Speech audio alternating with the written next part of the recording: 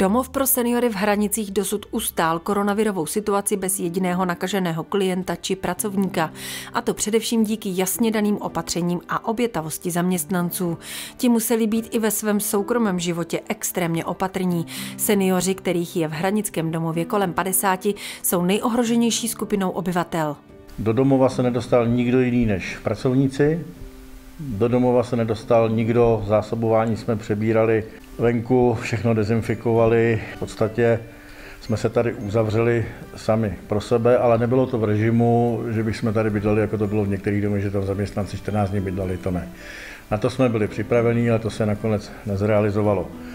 Celou tu situaci jsme ustáli, eh, nemáme žádného pozitivního klienta, nemáme eh, žádné pozitivní zaměstnance, protože ty musíme testovat podle příslušného usnesení vlády a činíme tak. Dokonce jsme i ustáli situaci, kdy jsme měli dvě klientky v nemocnici v Chebu. Je to obrovský výkon všech lidí, počínaje uklízečkama, kuchyní, údržbou, přímou obslužnou péčí, zdravotníma sestrama. Každý má na tom svůj podíl a kdyby ten kolektiv nemakal, tak by se nám to nepodařilo takhle ustát a jen za to chci strašně moc poděkovat, protože si to opravdu tvrdě odpracovali. Nutno podotknout, že všichni zaměstnanci v podstatě museli i přizpůsobit svůj soukromý život, protože eh, tím, že jsme nebyli uzavření v karanténě a každý po práci šel domů, tak se asi musel chovat jinak, než byl zvyklý. Já, když to vezmu eh, podle sebe, tak já jsem přijel domů, tam jsem se zabouch a ráno jsem zase se otevřel dveře a jel jsem sem. Kontakt klientů s rodinou byl v době zákazu návštěv zprostředkováván pomocí moderních technologií. Personál klienty nafotil, natočil a posílali přes sociální sítě rodinám, takže ten kontakt jsme takhle zprostředkovali, bylo to ke spokojenosti jak klientů, tak rodinných příslušníků. Od pondělí 25.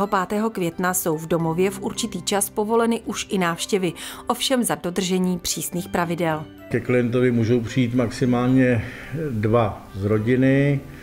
Eh, před vstupem do budovy eh, je měříme teplotu, od nás dostanou roušku a rukavice, protože musíte mít jistotu, že dostanou opravdu nepoužitý, čistý, sterilní věci. Pokud je návštěva přímo v domově nebo na pokoji klienta, jedná se o půl hodiny. Pokud eh, venku klient může ven a je počasí, tak se jedná o hodinu. Těch míst v rámci venkovních prostor máme asi pět nebo šest. Návštěvy jsou od 10 do 12, a potom od 14 do 16 hodin.